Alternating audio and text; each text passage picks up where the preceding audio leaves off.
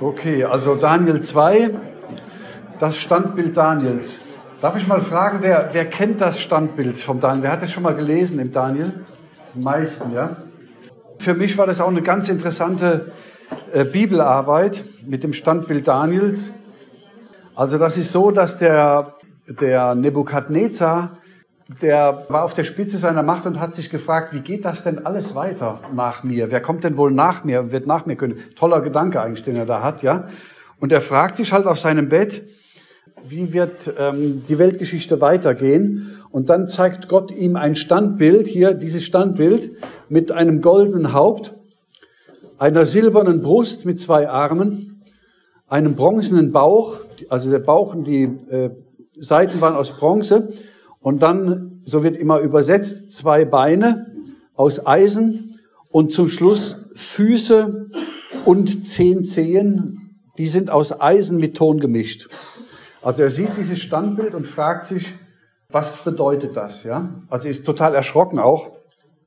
Und dann holt er seine Weisen zu sich und sagt, könnt ihr mir den Traum deuten, den ich gehabt habe? Und damit ich weiß, dass ihr keine Scharlatane seid, müsst ihr mir auch den Traum sagen, den ich hatte und die Deutung. Ich will beides wissen. Also war schon schlau, ja. Und äh, die Weissager, die sagen alle, das kann niemand äh, dir den Traum sagen äh, und die Deutung. Also wenn du uns den Traum sagst, dann können wir dir die Deutung sagen, aber mehr geht nicht. Das geht dann ein bisschen hin und her und der Nebukadnezar wird halt böse und sagt, also wenn ihr mir den Traum nicht sagt, dann zerstöre ich eure Häuser, eure Familien und ich töte euch alle, ja. Ist halt böse drüber. Und dann hört der Daniel davon und der Daniel sagt ähm, zu dem ähm, Oberaufseher da, dem er da zugeteilt ist, er sagt dem Nebukadnezar, er soll die, die Weisen in Babel nicht töten, sondern ich will ihm den, den Traum sagen. Ja, ich werde Gott fragen danach und dann, der Daniel ist 16. Plus, minus. Manche sagen 14, manche sagen 18. Also ein ganz, ganz junger Mann eigentlich, ja. Der ist so jung, dass der Nebukadnezar, könnt ihr nachlesen, wenn er den sieht, dann sagt der Nebukadnezar, bist du es, der mir den Traum deutet? Du Kerlchen, du bist ein Kerlchen, ja? Wie kannst du hier über Weltreiche philosophieren? Du bist gerade mal ein Teenager, ja? Du hast ja keinen Führerschein. Ja? Ich versuche es ein bisschen locker zu erzählen, ja? So, und der Daniel steht da, da sind die Juden zu, zu Recht stolz drauf, ja? Das ist einer von ihnen, der dem Daniel, dem, dem Nebukadnezar den Traum deutet.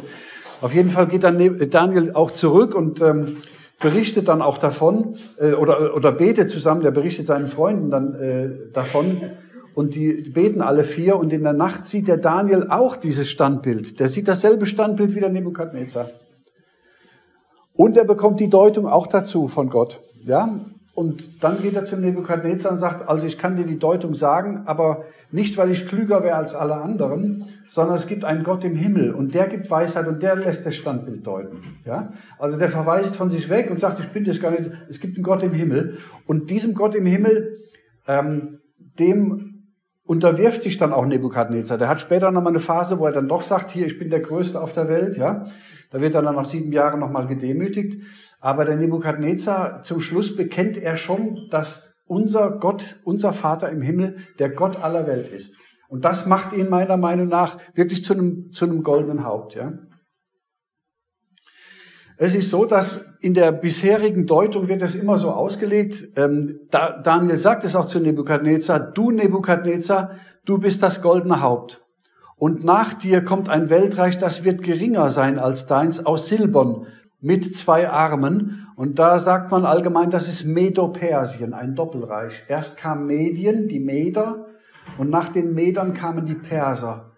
Und diese, dieses Medo-Persische Reich folgte auf Babylon und hat, und das ist eigentlich lustig, dass die Abläufe der Weltgeschichte Gott so gezeigt hat wie einen menschlichen Körper. Ich finde, es ist ein gewisser Humor da irgendwo drin, ja? Bis zu den Zehen, also Head to Toes, Kopf bis zu den Zehen, wie ein menschlicher Körper. Also Babylon, dann das Doppelreich Medien und Persien, Kyros zum Beispiel kam hier raus. Dann kommt Alexander der Große, der bronzene Bauch und die Seiten. Und dann sagt man, das ist Griechenland. Und jetzt wird's spannend, weil dann sagt man, dann hat das Standbild zwei eiserne Beine. Und diese beiden eisernen Beine symbolisieren Ostrom und Westrom. Und am Ende der Zeit kommen noch zehn Zehen in dem Standbild vor und das ist Europa. So ist die gängige Auslegung. Ja? Meine Kritik daran ist die, in dem Traum vom Nebukadnezar kommt dann ein Stein und dieser Stein wird vom Gebirge herabgerissen ohne Hände und schlägt dieses Standbild an seine Füße, also nicht an die Beine in Anführungsstrichen und auch nicht an die Zehen, sondern an die Füße und das ganze Standbild zertrümmert und der Stein wird zu einem großen Felsen, der die ganze Erde füllt. Und da geht man davon aus, und das glaube ich auch, dass dieser Stein im Bild ist auf Christus. Christus wird vom Reich Gottes, kommt er herab in der letzten Zeit, schlägt dieses Endzeit-babylonische Weltreichsgefüge an die Füße und wird selber zu einem, und das, das ganze, die ganzen Weltreiche werden zertrümmert und, und werden vom Wind verweht und übrig bleibt nur das Reich Christi, was so groß wird, dass dieser Fels die ganze Welt füllt. Tausend Jahre lang. Ja. Meine Kritik dabei ist jetzt die, wenn das Standbild eine Abfolge von Weltreichen zeigt bis zum Ende und Jesus als Stein kommt und das Standbild an seine Füße schlägt, dann müssten ja zu der Zeit, wenn Jesus Christus wiederkommt, die Füße regieren. Ja? Aber die Füße finden in dieser Art der Deutung mit Rom und Europa keine Auslegung, da hat man keine Erklärung für. Man sagt einfach, das waren halt, da steht halt seine Schenkel aus Eisen, in Daniel steht wörtlich, seine Schenkel aus Eisen. Und dann sagt man, ja, das sind halt zwei Beine, das ist Ost- und Westrom, das ist schon historisch, das war schon damals. Dann ist das Römische Reich ist, ist, äh, aufgelöst worden und, und untergegangen. Und in der Endzeit kommen wieder 10, 10 und das ist Europa. Und das ging in den 80er Jahren ganz gut. Da gab es noch die EWG, Europäische Wirtschaftsgemeinschaft, dann waren das 10 Staaten, da waren es plötzlich 12. Oder? Schon 12, 10. Heute hatte Standbild 27, 10. Und ein Standbild mit 2710 sieht komisch aus, finde ich, ja. Also, ja.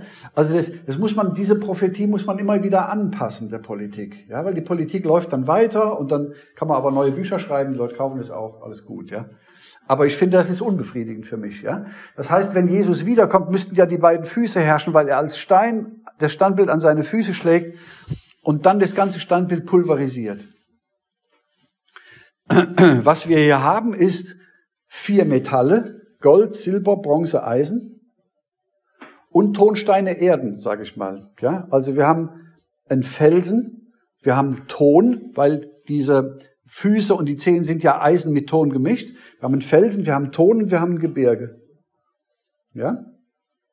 Um das vorwegzunehmen, der Fels wäre Christus. Christus kommt von einem Berg, von einem Reich, von Gottes Reich herab. Dann hätten wir also praktisch, Christus ist der Fels, das Reich Gottes wird durch ein Gebirge oder einen Berg symbolisiert und der Ton ist Israel. Okay, also dann wäre Christus wäre, wäre ähm, der Fels Gottes, so wird er auch beschrieben. Und dann wäre aber ja dann der Ton gemischt mit Eisen hier.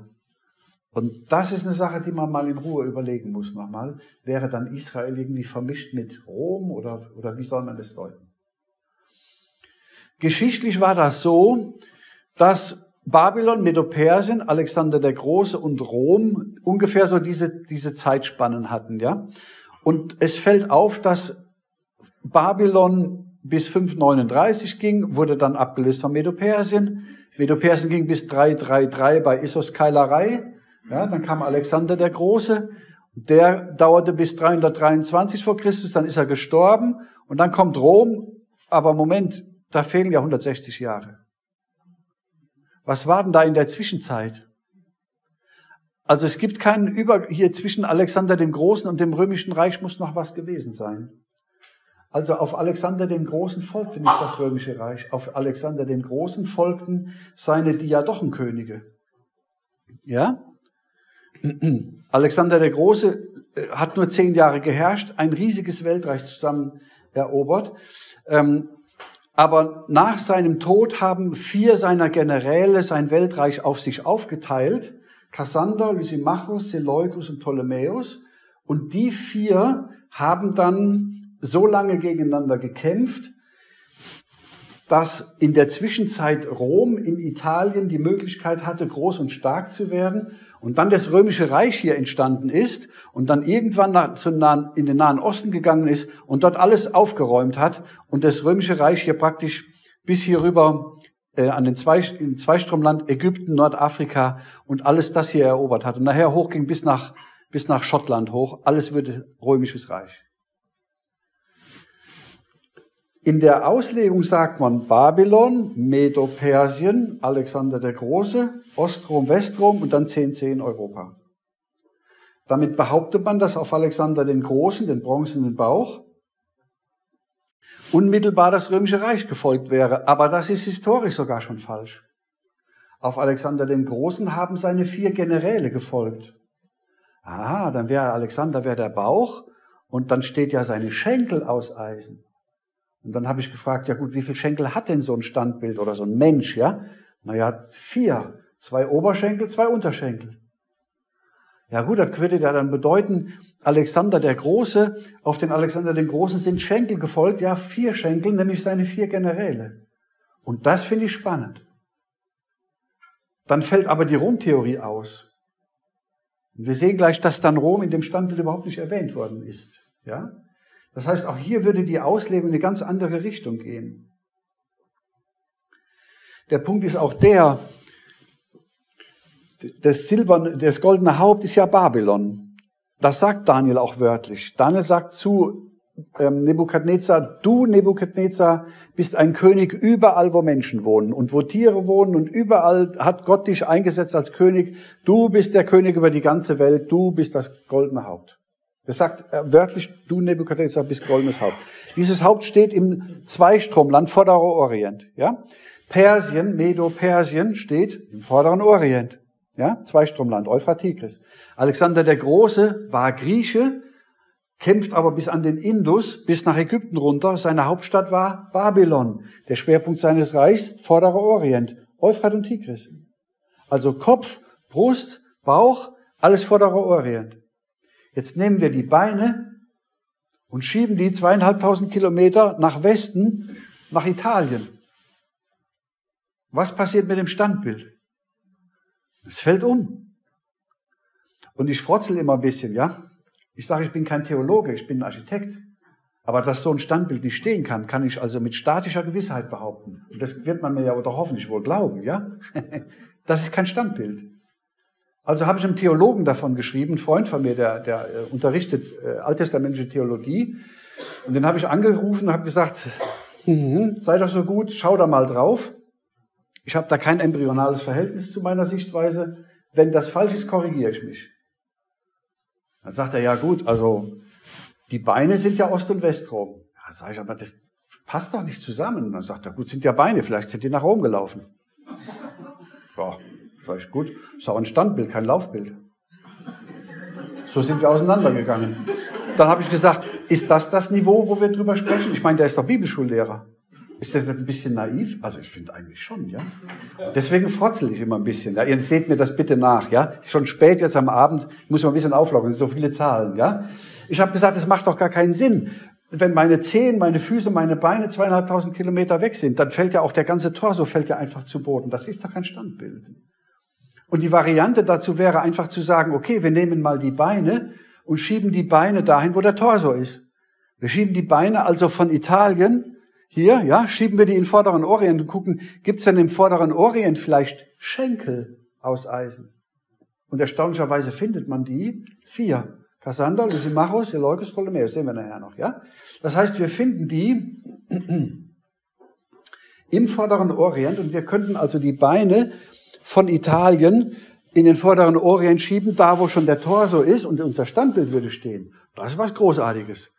Dann sagen die Ausleger zu mir, ja gut, das ist ein bisschen naiv. Ja, sag ich, genau, ist für euch. Ja? Dass ihr das auch verstehen könnt. Also, im Prinzip macht man in der Auslegung, auch in späteren Kapiteln, dann 7, 8, 9, 11, macht man das, man, macht man das, dass man dem Standbild die Beine unterm Leib wegzieht und dann fällt alles um. Die ganze Theologie fällt in sich zusammen. Und dem so ein bisschen nachzuforschen, das war so die Überlegung. Hier sieht man mal den Mittelmeerraum 200 vor Christus. Das ist also kurz bevor Rom im vorderen Orient überhaupt ins Spiel kommt. Da gab's Rom nur hier, ja. Und hier sind die, die Diadochenkönige, die teilen sich hier die, die Welt auf sich auf, ja. Seleukidenreich ist gelb, Mazedonien, Antigoniden ist hier blau, Ptolemäer ist hier unten Ägypten. Also das sind die, die Nachfolgegeneräle von Alexander dem Großen. Und die haben existiert nach Alexander und noch kein römisches Reich. Ja, ich will damit nur sagen, die Theologie sagt, also ähm, Alexander der Große, und dann kam direkt Rom. Und ich sage, nö, Alexander der Große, dann kamen die Diadochen. Und dann kommt erst Rom. Also das ist auch historisch nachvollziehbar, ja. Hier sieht man das auch nochmal. Die Diadochenreiche vor Beginn der Kämpfe mit Rom um 200 vor Christus. Zweiter Makedonischer Krieg ist nicht ganz so wichtig, ja. Seleukiden, Seleukus, Ptolemäus, Ägypten und hier Kassander und Lysimachos, diese äh, violetten und hier die grün beigen, ja. Ähm, das ist immer weiter zerfallen, das Weltreich. Und der letzte Seleukidenkönig, den die Bibel beschreibt, ist Antiochus Epiphanes. Und der Antiochus Epiphanes, der ist am Tag von Eleusus im Jahr 168 vor Christus besiegt worden. Der war nämlich auf dem Feldzug von Syrien aus nach Süden und wollte Ägypten erobern. Warum? In Ägypten war der Ptolemäerkönig und er war ja der Seleukus. Und die beiden waren die beiden stärksten und die beiden wichtigsten. Kassander und Lysimachos, Türkei, Griechenland waren nicht so wichtig. Das heißt, der, der Antiochus Epiphanes zieht nach Süden und will das Ptolemäerreich erobern, Ägypten. Hätte er das geschafft, damals, Jahr 168 vor Christus, dann wäre er Beherrscher der Welt geworden, weil Nachfolger von Alexander dem Großen. Dann hätte es kein römisches Reich gegeben. Davon schreibt Daniel 11. Das ist Weltgeschichte. Ja? Das heißt also, der Alexander, äh, der Antiochus Epiphanes, Entschuldigung, Antiochus Epiphanes zieht nach Süden und will Ägypten erobern. Und auf dem Weg nach Ägypten kommt sein Jugendfreund, hier ein römischer Senator und äh, Feldherr und späterer Senator, der ähm, Scipio Asiaticus, und der, und der sagt zu ihm, du musst wieder nach Hause äh, umkehren, du darfst Ägypten nicht erobern, weil das römische Reich war mittlerweile so stark geworden, dass die die Macht hatten, den ähm, Antiochus Epiphanes aufzuhalten. Ja? Als Tag von Eleusus wird in der althistorischen Forschung der frühe Julitag im Jahr 168 vor Christus bezeichnet, an dem der Gesandte der römischen Republik den Seleukidenkönig Antiochus IV. ultimativ und letztendlich erfolgreich zum Abzug aus dem ptolemäischen Ägypten aufforderten. Das Ereignis markiert damit die endgültige Etablierung der römischen Hegemonie über den Ost östlichen Mittelmeerraum. Jetzt kommt Rom. Ja? Aber Rom kommt nach Antiochus Epiphanes erst. Das heißt, der Antiochus Epiphanes, der trifft hier diesen, diesen äh, äh, Asiatikus und der sagt zu dem Antiochus, du musst sofort nach Hause kehren. Und der Antiochus sagt, so kurz vorm Ziel, ja, sagt er, eigentlich habe ich ja keine Lust, ich bin da gerade dabei, Ägypten zu erobern, es ist auch nicht mehr so weit nach Kairo, ja. Und ich war ja schon mal da ein paar Jahre vorher und sieht gut aus für mich. Dann sagt er, ich denke darüber nach. Und dann nimmt er einen Stock in die Hand hier hat er den Stock, ja, und zeichnet um den Antiochus Epiphanes einen Kreis in den Sand und sagt, bevor du diesen Kreis verlässt, muss ich deine Antwort wissen. Jeder, der Latein lernt in der Schule, Gymnasium, kennt diese Geschichte, weil es irgendwo in der, in dem, im Lateinunterricht immer ähm, auch erzählt wird, ja. Antiochus und ähm, dieser Senator. Antiochus hat dann aufgegeben und ist wieder zurückgezogen und aus lauter Wut ist er nach Jerusalem, hat dort den Tempel geplündert und entweiht ein Schwein geschlachtet, Hunderttausende von Juden gemeuchelt. Ja? Weil er natürlich jetzt gehofft hatte, er hatte Kredite aufgenommen, damit er den Krieg da in Ägypten gewinnt. Und jetzt darf er nicht kämpfen. Weil jetzt ist Rom da. Die Römer hatten kurz zuvor eine Schlacht gewonnen. Hätte das noch zwei Wochen länger gedauert, hätte in der Zeit der Antiochus Ägypten erobert, dann gäbe es kein römisches Reich. Ja? Das war auf Messers Schneide. Das war ganz, ganz knapp. Und als die Römer diese Schlacht dann in Griechenland gew gewonnen haben, dann haben sie ihm ja direkt Bescheid gegeben. Das war ein Jugendfreund von Antiochus und haben gesagt, sofort musst du nach Ägypten runter und du musst den Antiochus aufhalten. Wir sind jetzt die Chefs im Ring. Ja? Und wenn du nicht zurückziehst, dann machen wir da, dann greifen wir dich als nächstes an. Und da gibt er klein bei. Es gibt kein Antiochus Epiphanes Weltreich. Das hört auf. Und dann geht's über auf die Römer. Aber bis dahin waren die Seleukiden halt hier zwischen. Die, Entschuldigung, die Diadochenkönige, ja? Alexander der Große zehn Jahre bis 323. Dann geht's über auf die Diadochen, zwischenzeitliche Könige, vier Stück von 323 bis 168, Tag von Eleusis. Antiochus Epiphanes wird besiegt, Rom. So war's geschichtlich. Ja? Aber die evangelikalen Pastoren, die sagen alle, nö, auf Alexander der Großen kam Rom. Das ist historisch falsch. Ja? Das bestätigt mir auch der, ähm, ähm, wie heißt er noch?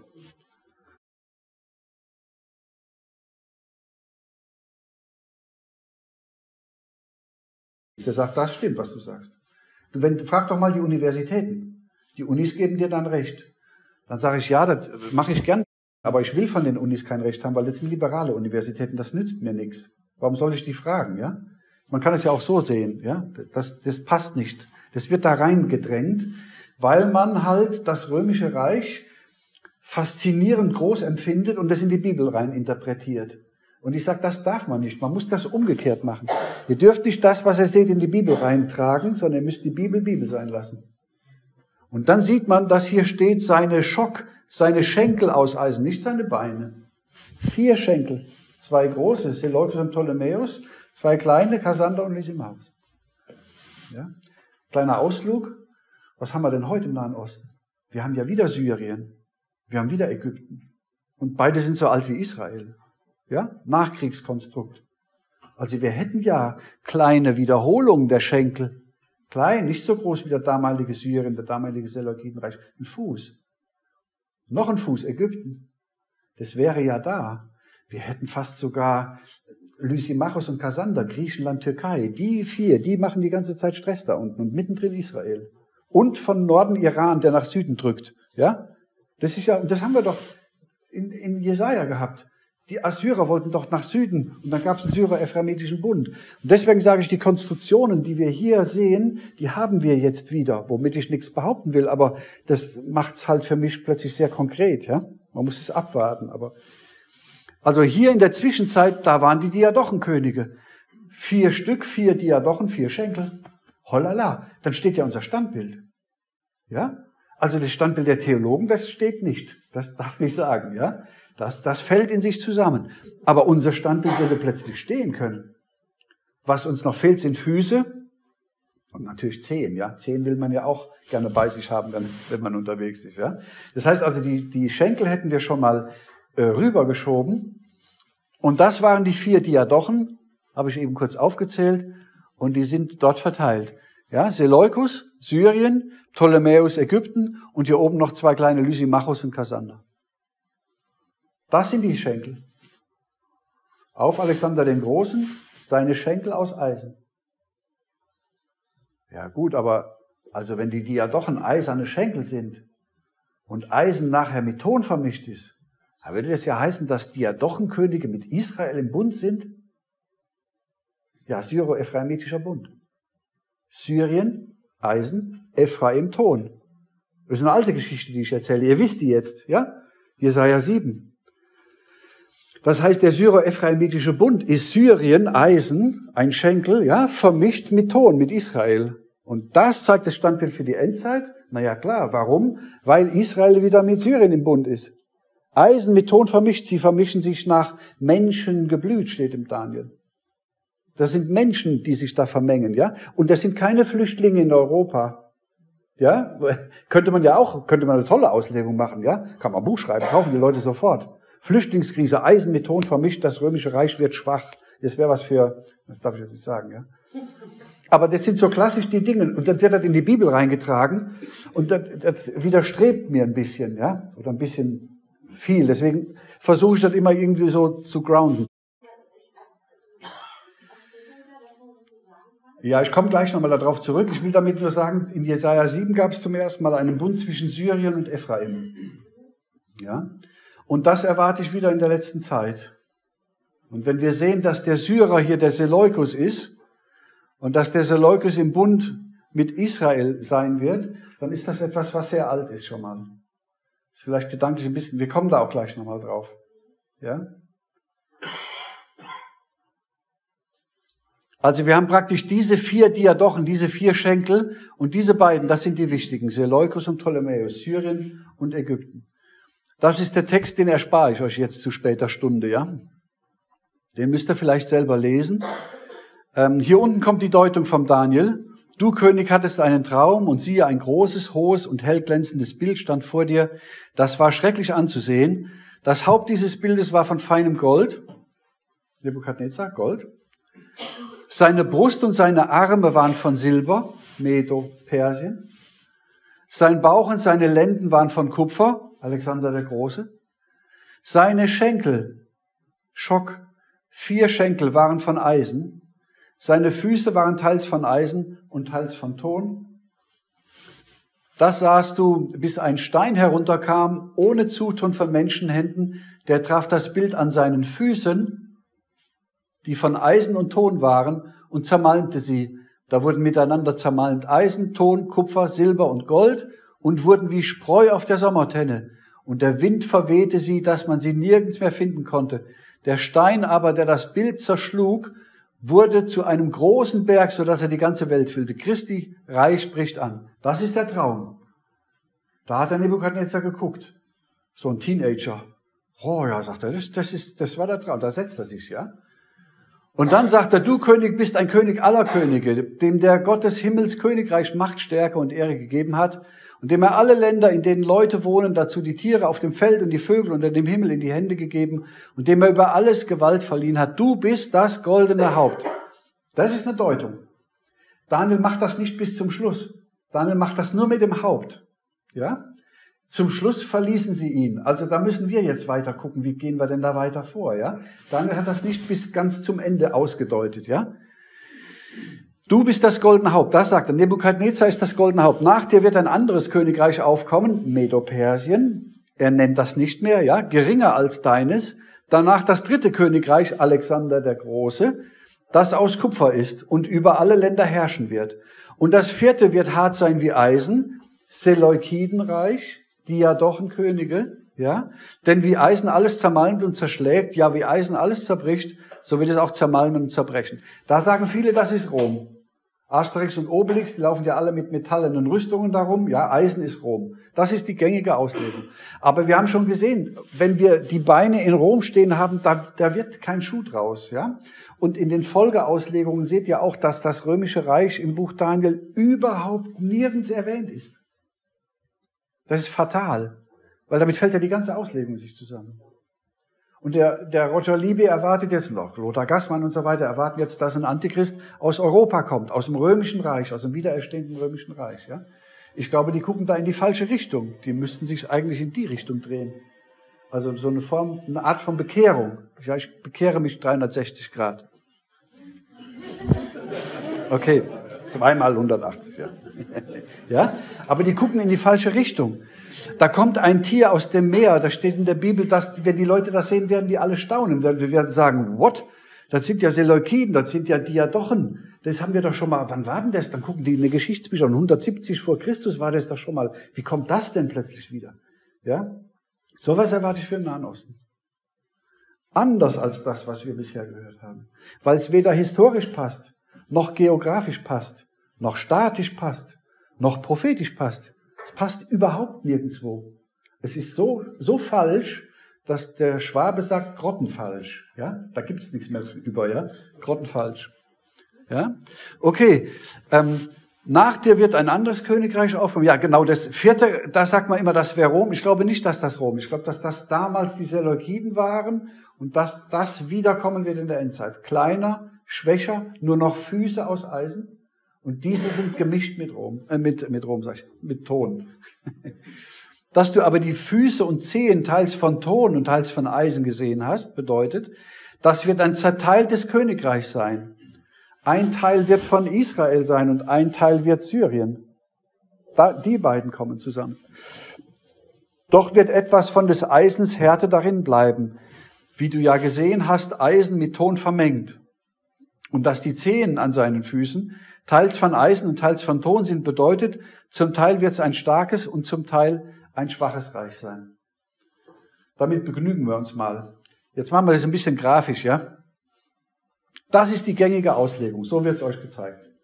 Aber wir haben gesehen, Rom folgt nicht auf Griechenland, sondern Diadochen sind hier. Ja? Das heißt, wir müssten das hier, diese beiden Beine stehen angeblich für Rom und die zehn Zehen stehen angeblich für zehn europäische Staaten. Das müssten wir austauschen. Ja? Weil die Zahl der Mitgliedstaaten der EU ist, ist 27. Das passt nicht. Manche vermuten dann Auseinanderbrechen der EU, sodass doch noch ein Bund aus zehn Staaten entstehen könnte. Lothar Gassmann zum Beispiel, ja. Andere erwarten zum Beispiel zehn Staatenblöcke, die eine Weltregierung bieten, bilden sollen. Dabei werden die EU, OPEC, Contadora-Staaten, zentralafrikanische Staaten, UNO, Mexiko, Panama, Kolumbien, Venezuela genannt und so weiter. Ich sage, Leute, wo habt ihr das alles her? Ja, ich staune da immer, ja. Das ist ja wie so ein, ja, Kaninchen aus dem Hut, ja. Es gibt sowas in der Bibel nirgends. Jetzt trägt man wieder die Konquistadorenstaaten und die OPEC trägt man wieder in die Bibel rein, um irgendwie diese zehn Zehen da erklären zu können. Ich finde, das ist nicht aufrichtig. Ja? Und bei dieser Auslegung gibt es noch ein weiteres Problem. Ähm, das hier, also Babylon liegt im vorderen Orient, Medo-Persien liegt im vorderen Orient, habe ich schon gesagt, ja. Reich Alexanders des Großen geht hier bis an den Indus, bis nach Indien. Hier war seine Hauptstadt Medo in, in, äh, hier in Babylon. Ja? Ähm, das heißt, diese, diese ganzen Weltreiche liegen im Vorderen Orient, aber das Römische Reich liegt in Europa. Einem ganz anderen Kontinent. Das heißt also, das passt nicht untereinander, ja. Wir würden, dieses Weltreich, das Römische Reich müsste auch hier irgendwo zu liegen kommen. Ja. In dieser Auslegung, die wir normalerweise machen, schieben wir die die, Standbild, die Beine des Standbilds nach Rom, dann fällt das Standbild um. Wir müssen die zurückschieben.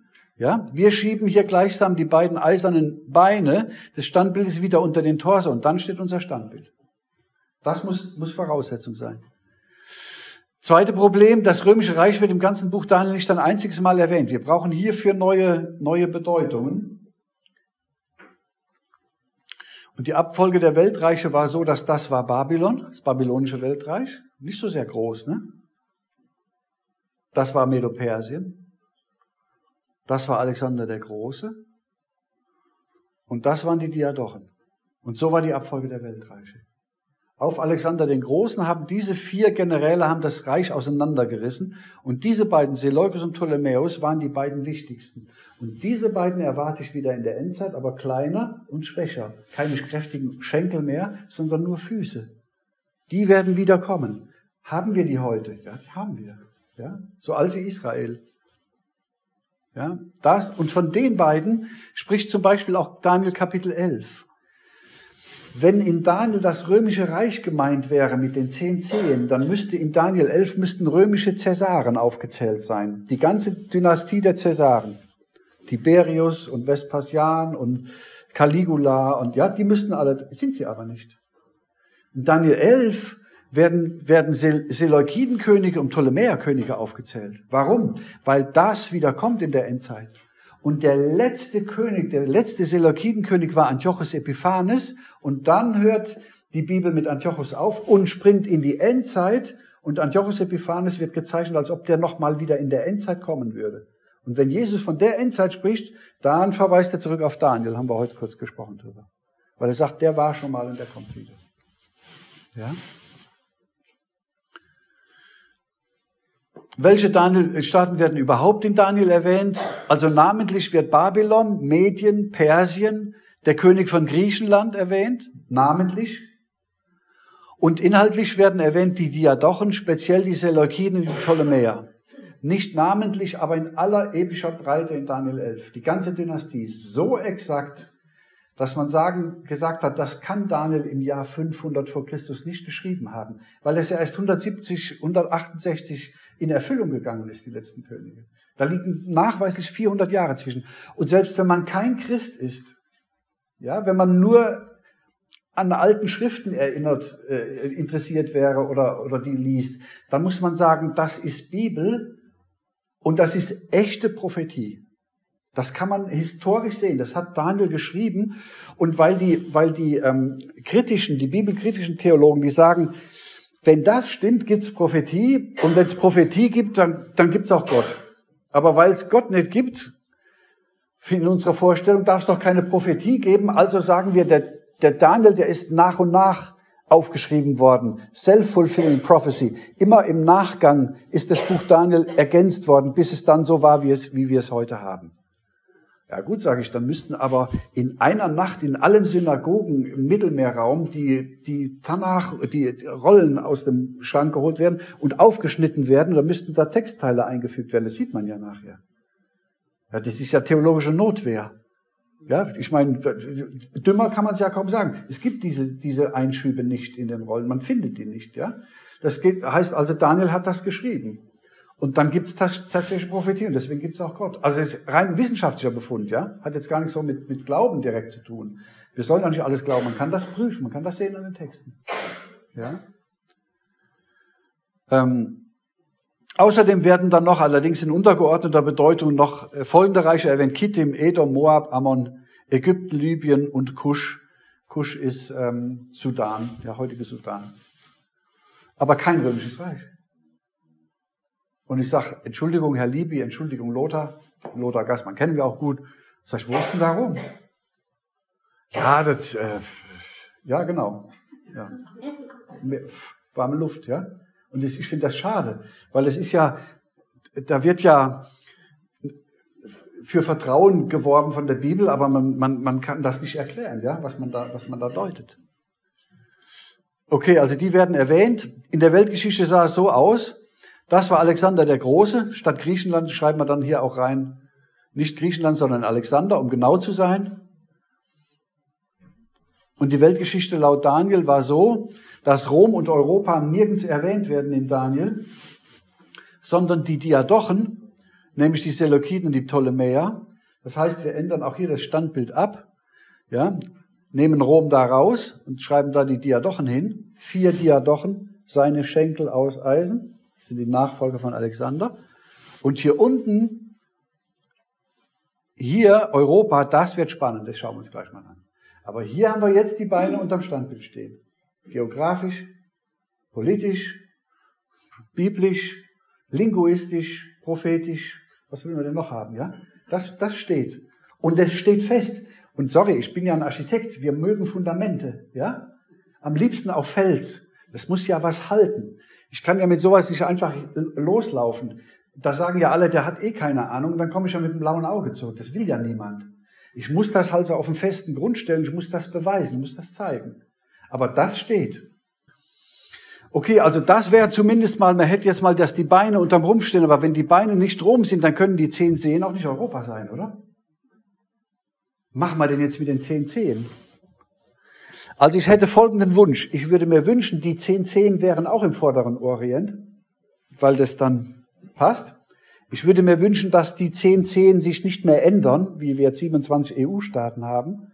Ich würde mir wünschen, dass die in der Bibel erwähnt sind, weil Bibel mit Bibel ausgelegt wird. Und ich würde mir wünschen, dass diese zehn Zehen irgendwie mit den Seleukiden oder dem Ptolemäern oder irgendwie zu tun haben, weil die Zehen hängen ja an die Beine, ja, an dem Schenkel dran. Das ist ja ein, ein Ablauf. Also diese Sachen würde ich mir wünschen. Gibt es eine Zehnerstruktur, die mit den Seleukiden oder den Ptolemäern in Verbindung steht? Eine, die in der Bibel zu finden ist. Und da gibt es erstaunlicherweise sowas hier. Und das ist die Dekapolis. Das Gebiet der zehn Städte. Das findet man in der Bibel. Und die Dekapolis war ein Zusammenschluss von zehn Städten. Manchmal war sogar Damaskus dabei bei der Dekapolis. Ja? Ein kleines Horn zwischen zehn anderen Hörnern. Das sind die zehn Zehen. Und diese Städte hier, die haben in der Antike, haben die eine Art NATO gebildet. Zwischendrin war Räuberland, aber die zehn Städte haben gesagt, wenn eine von euch angegriffen wird, dann kommen alle anderen neun dir zu Hilfe. Und diese, dieses Gebiet der Dekapolis galt bei den Juden als die finsterste Gegend überhaupt. Hier Gadara oder Gerasa, da war der Gerasener, der nachts mit den, der besessen war, der nachts mit den Ketten ge, gerüttelt hat, ja, und wo Jesus dann kommt und den heilt. Ja, das ist hier, oder wo die Schweine dann äh, von den Klippen runtergestürzt werden. Also das war eine finstere Gegend für Juden. Da gab es Besessenheit, da gab es Schweinezucht, da gab es Römer, da gab es Heiden. Boah, da geht niemand hin. Ja, das war das Gebiet der Dekapolis. Und diese Dekapolis-Städte, da hat man immer geglaubt, dass die, also hier, das habe ich hier kurz geschrieben, da mit den Schweinezucht und Dämonen, ja, da, dass da keiner gerne hin wollte. Aber Jesus hat das Gebiet der zehn Städte besucht und dort unter anderem den Gadarener von Dämonen befreit, weil Jesus bringt Licht. Ja, das ist in der Bibel beschrieben. Und diese Dekapolis-Städte, die werden dreimal erwähnt. Matthäus 4, 25. Und es folgten ihm große Volksmengen von Galiläa und der Dekapolis und Jerusalem und Judäa und von jenseits des Jordan. Hier nochmal Markus 5, Dekapolis, Markus 7, 31. Dreimal Dekapolis. Ja gut, aber hat die Dekapolis denn irgendwas mit, mit, den, mit den Diadochen zu tun? Das war bis, acht, bis in die 80er Jahre strittig. Man hat immer geglaubt, die Diadochen wären von den römischen Kaisern, äh, Entschuldigung, die, die Dekapolis wäre von römischen Kaisern gegründet worden. Und dann gab es einen Professor Dr. Wenning an der Uni in Münster, den habe ich auch angeschrieben. Das ist die Koryphäe für die Dekapolis weltweit. Das ist der Fachmann für die Dekapolis. Und den habe ich angeschrieben und habe gesagt, Herr Professor Wenning, könnte es sein, dass die Dekapolis mit den Diadochen, speziell mit den Seleukiden und den Ptolemäern zu tun hat? Schreibt der Professor Wenning mir zurück. Ja, Herr Klein, das ist ja Basiswissen. Ich sag, Anja, nächsten Morgen Frühstückstisch, Anja, der Professor Wenning hat mir geantwortet. Da habe ich gesagt, wenn der schon mal antwortet, frage ich noch mal nach. Macht Zacharia ja auch, ja, da war ja noch was. Ja? Also sage ich, Herr Wenning, ich arbeite da gerade am Daniel. Können Sie mir da helfen? Können wir da eine Karte malen? Können Sie mir sagen, wer waren denn die Dekapolis-Städte?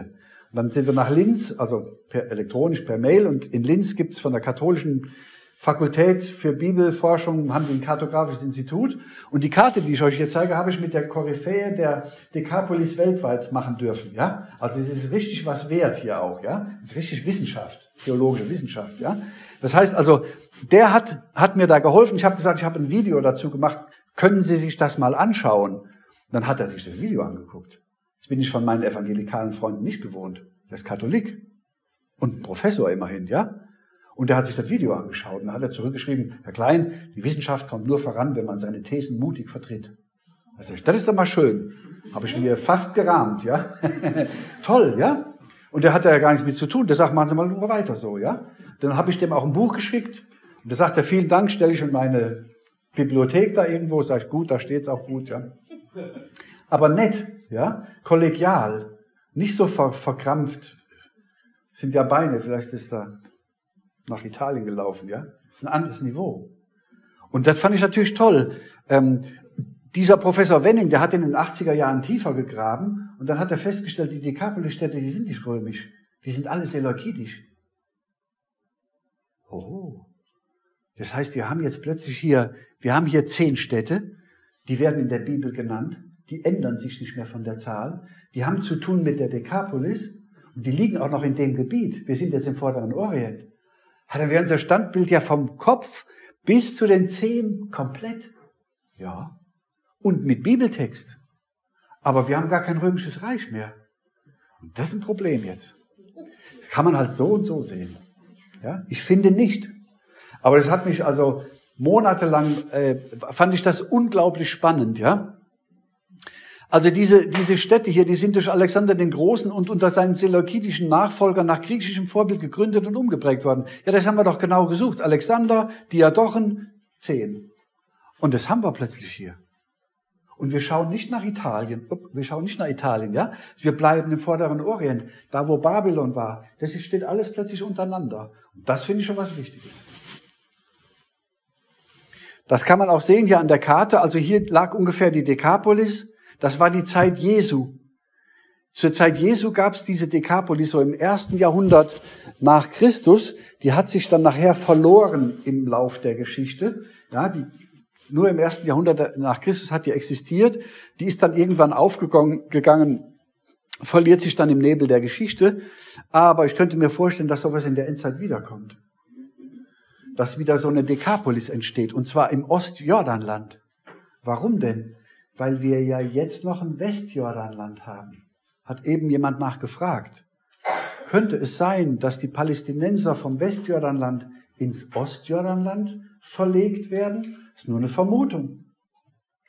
Haben die Palästinenser schon mal geschafft, ein funktionierendes Staatsgebilde zu, zu gründen? Aber noch nie. Was würden die denn machen, wenn die von, von, von der Westbank in die Ostbank umgesiedelt würden? Da würde sich jeder so eine Ortschaft schnappen. Ich frotzel immer ein bisschen. Der kauft sich dann einen weißen Toyota mit Sandsäcken drauf und diesem Maschinengewehr vom ZDF. Das ZDF hat ja so einen Toyota, stellen die überall hin, wo die filmen, ja. Und dann stellen die sich mit dem Toyota vor die Stadt. Jeder ist so ein Landlord, paar Sandsäcke vor die Stadt, ja, und sagt, ich bin hier der Chef. Mitten zwischen den Städten ist nur Räuberland, unkontrolliert, weißt nie, ob du lebendig in die nächste Stadt kommst, ja? Und in der nächsten Stadt ist der nächste Landlord und der nächste und dann hätte man plötzlich wieder eine Dekapolis. Ist eine Vermutung, ja? Aber die Dekapolis lag hier im Ostjordanland und ich könnte mir vorstellen, dass das wiederkommt. Dass das alles wiederkommt weil das mit dem Standbild so, so ist, ja. Das heißt, diese zehn würden hier die Dekapolis bedeuten. Und dann könnten wir Europa löschen und nehmen die Dekapolis da rein. Und jetzt bleiben noch die Füße. Was machen wir mit denen? Da würde ich sagen, das ist ein Neo-Seleukiden oder Neo-Ptolemäer-Reich. Oder man könnte auch auf Neudeutsch sagen, ein, ein endzeitliches Syrien und ein endzeitliches Ägypten. Wie alt ist denn Ägypten? Naja, ein Jahr jünger als Israel in seiner heutigen Form. Ägypten ist Jahrtausende alt. Aber in seiner heutigen Form sind die von den Engländern in der Nachkriegszeit alle gegründet worden. Ja? Das heißt, wir haben praktisch vor 75 Jahren nicht nur die Gründung Israels, sondern wir haben die Gründung der beiden Füße und der Strukturen hier. Was fehlt denn jetzt noch? Naja, dass Israel zerbricht. Warum? Weil dann der Tempel entsteht. Was fehlt noch? Die Wiedergeburt Jerusalems, weil dann der Tempel fertig wäre.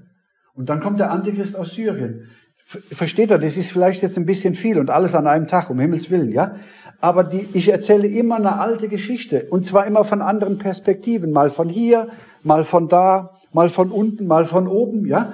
Und ich zeige immer die gleiche Sache von verschiedenen Perspektiven und verschiedenen, und das macht Daniel auch. Daniel 7 und 8 redet von einem kleinen Horn. Mal aus der Perspektive, mal aus der Perspektive.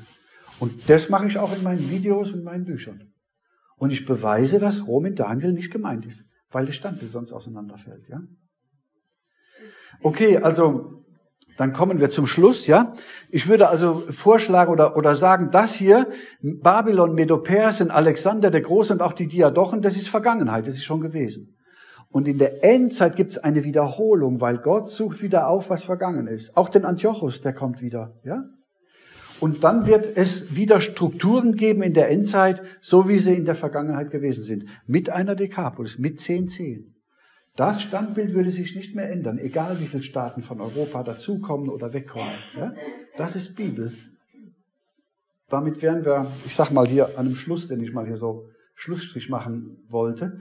Ähm, zur Zeit dieser Könige wenn diese Könige kommen, ja, in der Endzeit, wird der Gott des Himmels ein Reich aufrichten, das nimmermehr zerstört wird. Jesus kommt. Das ist sein Königreich. Das hat ja Aufschub erlitten, als er beim ersten Mal kam. Sie haben ihn ja gekreuzigt. Dann kommt's, ja? Das wird nimmer mehr zerstört werden und sein Reich wird auf kein anderes Volk kommen. Es wird alle diese Königreiche zermalmen und zerstören, aber es selbst wird ewig bleiben, wie du ja, du Nebukadnezar, sagt der Daniel hier an den Nebukadnezar, wie du ja gesehen hast, dass ein Stein ohne Zutun von Menschenhänden vom Berg herunterkam, der Eisen, Kupfer, Ton, Silber und Gold, auch dich Nebukadnezar, auch das Babylon zermalmen wird, ja? So hat der große Gott dem König kundgetan, was der einst geschehen wird. Der Traum ist zuverlässig und die Deutung ist richtig.